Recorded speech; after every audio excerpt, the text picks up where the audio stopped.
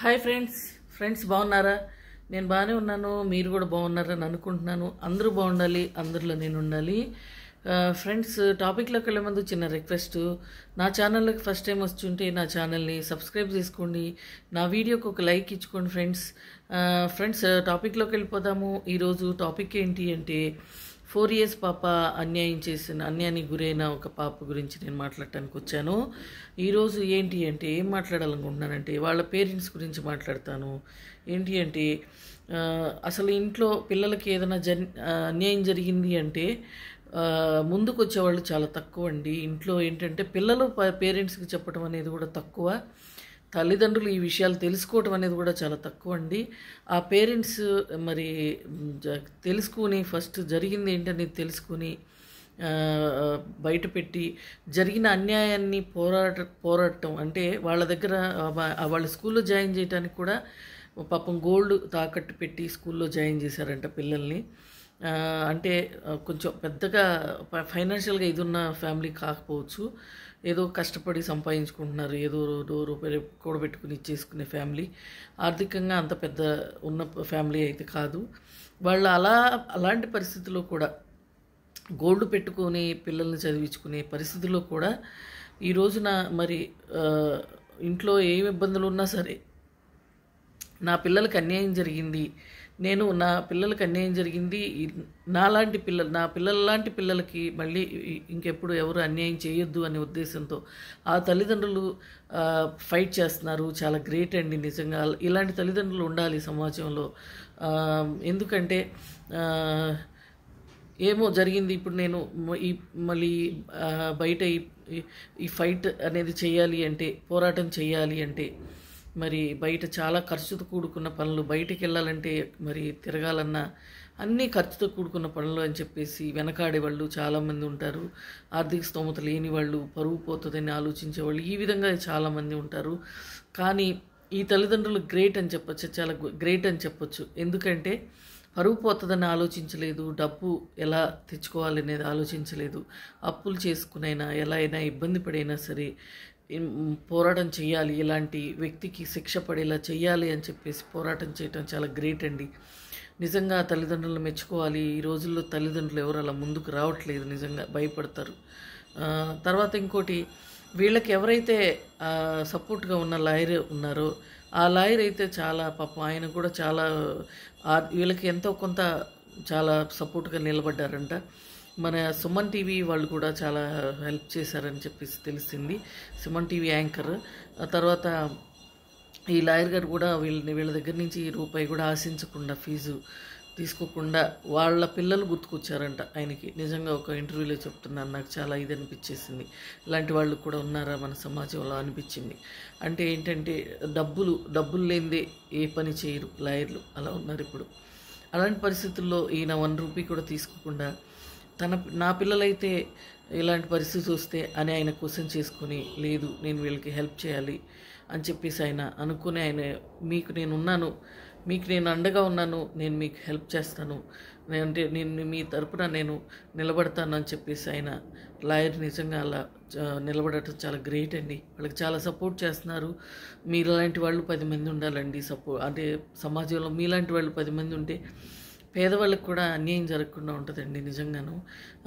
ఎందుకంటే ఇంట్లో గడవటమే కష్టంగా ఉన్న పరిస్థితుల్లో ఇలాంటివి వాటికి ఖర్చు పెట్టుకోవాలంటే వాళ్ళకి మరి ఖర్చుతో కూడుకున్న పని. ఏది ఏది బయటికి వెళ్ళి కొంచెం కొంత దూరం వెళ్ళాలన్నా ఖర్చుతో కూడుకున్న పని ఎవరితోనా మాట్లాడాలన్నా ఏదైనా చేయాలన్నా కానీ డబ్బుతో కూడుకున్న పనులే కానీ ఏది ఊరికే రాదు. అలాంటి పరిస్థితుల్లో మీరు లాయర్గా మీరు చాలా హెల్ప్ చేస్తున్నారు ఆ కుటుంబానికి? నిజంగా థ్యాంక్స్ చెప్పుకోవాలి మీకు? మీలాంటి వాళ్ళు సమాజంలో పది మంది ఉండాలండి. ఉంటే ఇలాంటి వాళ్ళకి న్యాయం జరుగుతుంది. తర్వాత మిగతా పేరెంట్స్ గురించి చెప్తున్నాను. ఏమండి మీకు ఎవరికైతే పిల్లలకి అన్యాయం జరిగిందో మీరు బయటికి రావడానికి సిగ్గు అనిపిస్తే మాస్కులు పెట్టుకోండి. మాస్కులు పట్టుకు పెట్టుకునైనా మీరు కూడా కలిసి పోరాడండి. ఒక వ్యక్తి బయటకు వచ్చినప్పుడు మాకు అన్యాయం జరిగిందని ఒక వ్యక్తి బయటకు వచ్చినప్పుడు ఆ వ్యక్తితో మీరు కూడా కలిసి అందరికి ఒ- ఒక గొంతుకి వెయ్యి గొంతులు కలపండి. ఒక గొంతుకు వంద గొలుపు గొంతులు కలపండి. కలిపితే ఏంటంటే దానికి సమాధానం త్వరగా వచ్చే అవకాశం ఉంటుంది. వాళ్ళంతా పోరాడుతున్నారు కదా వాళ్ళ దగ్గర ఏమీ లేకపోయినా సరే. మరి మన బిడ్డల కోసం మనం పోరాడొద్దా అని ఒక్క ఆలోచనతోటి మీరు ముందుకు రండి మిగతా వాళ్ళు కూడా. డెఫినెట్గా న్యాయం జరుగుతుంది ఇలాంటి వాళ్ళకి శిక్ష పడుతుంది. ఇంత సమాజంలో ఎలాంటి అన్యాయాలు జరగకుండా ఉంటాయనే ఉద్దేశంతో నేను మీకు చెప్తున్నానండి. తర్వాత ఒకటి కేసీఆర్ గారికి ఒక రిక్వెస్ట్ అండి. దయచేసి ఆ లైసెన్స్ రద్దు చేశారు. విరమించుకునే ప్రయత్నం చేయొద్దండి. ఆ లైసెన్స్ని దాని గురించి చాలామంది మరి ఏదో ధర్నాల్లాగా చేస్తున్నారని చెప్పేసి విన్నాను నేను. అలాంటి మీరు చేయకండి దయచేసి. మళ్ళీ వాళ్ళకి శిక్ష పడాలి. ఎవరైతే అన్యాయం చేశారో వాళ్ళకి శిక్ష శిక్ష పడాలి. ఈ ప్రభుత్వంలో ఈ ఈ గవర్నమెంట్లో ఇలాంటివి నడవు అని చెప్పేసి నిరూపించండి కేసీఆర్ గారు. మీ మీ మీ అభిమానిని కేసీఆర్ గారు నేను.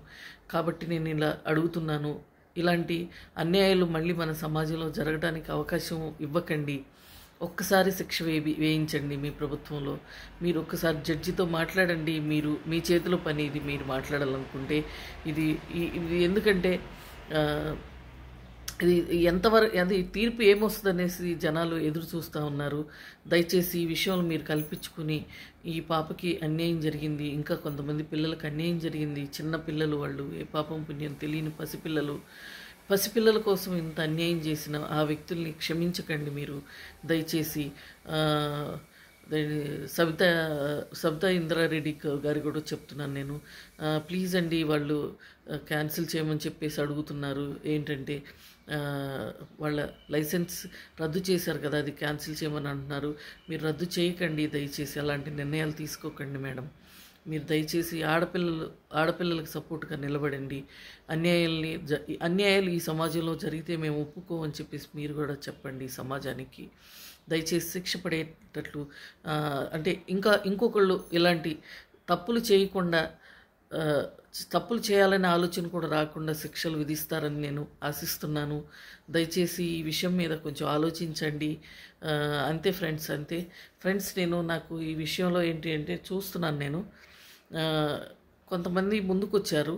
ముందుకొచ్చారు. వాళ్ళు మళ్ళీ ఏంటంటే పరుగు పోతుందనే ఉద్దేశంతో వెనక్కి వెళ్ళిపోయారు పేరెంట్స్. మరి ఇప్పుడు ఒకళ్ళు పోరాడుతున్నారు కదా. ఇప్పుడు పోరాడుతున్నప్పుడు వాళ్ళకి కొంత సపోర్ట్ ఇచ్చి వీళ్ళు కూడా ఒక చెయ్యి ఇంకో చెయ్యికి ఇంకో చెయ్యి తోడు చేస్తే బాగుండేది. బాగుంటుందని నా ఉద్దేశం ఫ్రెండ్స్. ఆ ఉద్దేశంతో నేను అంటున్నాను. చిన్నపిల్లల్ని ఏమీ తెలియని పసిపిల్లల్ని అలా చేస్తే ఎందుకు వదలాలండి? మన మన ఇంట్లో పిల్లల్ని అలా చేస్తే ఎందుకు వదలాలి? దయచేసి శిక్షలు పడటానికి వీళ్ళు ఎంత అంటే శిక్ష పడాలి వాడికి అని చెప్పేసి వాళ్ళు చాలా ఇబ్బంది అంటే ఎంత కష్టానికైనా ఓర్చి చేస్తున్నప్పుడు పోరాటం చేస్తున్నప్పుడు ఆ పోరాటానికి మీరు కూడా సహకరిస్తారన్న ఉద్దేశంతో నేను పేరెంట్స్కి చెప్తున్నానండి. ఫ్రెండ్స్ నాకు అనిపించింది నేను చెప్పాను ఫ్రెండ్స్ ఏమైనా తప్పుగా మాట్లాడితే నన్ను క్షమించండి. Okay friends bye. ఫ్రెండ్స్ ఈ వీడియో నచ్చితే ఒక లైక్ ఇచ్చుకోండి friend friends bye friends bye. Thank you